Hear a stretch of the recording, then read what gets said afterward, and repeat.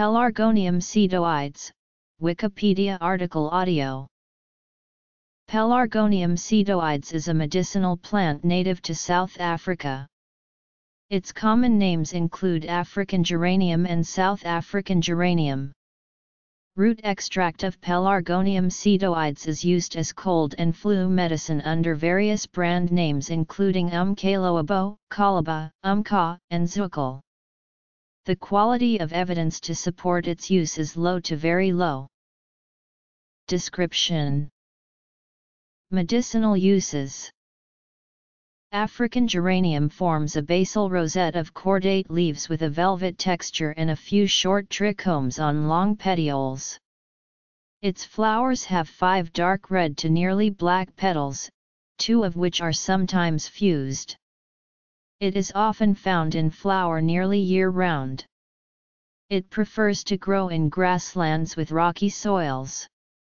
It can be difficult to distinguish from Pelargonium reniform which grows in a similar area, but tends to have more kidney-shaped leaves.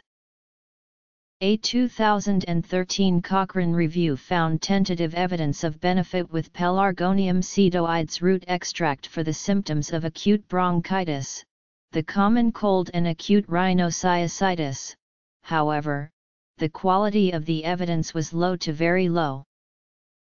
A summary of this review found that all studies were from the same investigator and performed in the same region. Moyo, M., Van Staden, J. Medicinal Properties and Conservation of Pelargonium sidoides DC. J. Ethnopharmacol. 152, 243-255. doi 10.1016/j.jeb.2014.01.009. PMID 244630034